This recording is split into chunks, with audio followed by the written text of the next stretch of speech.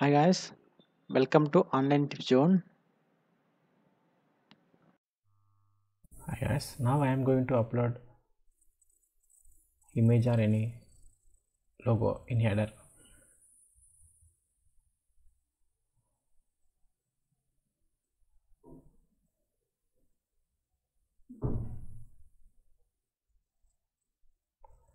I am going to upload my logo in my Word document header only now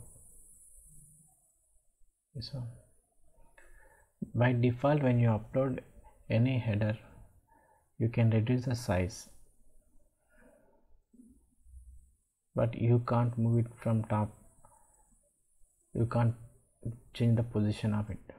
See i am just reducing the size. But i am trying to move side. It is not moving. I am trying to move left top bottom but is not going. But how to move it? Up and down. Just select the logo and uh, here you can see the dimensions like distance. If you want to move top just increase it. Sorry bottom. If you want increase the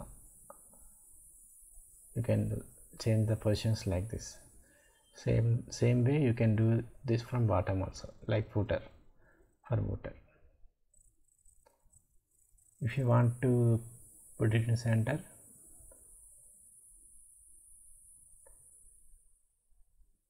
you can put it to right. Again you can change it. Left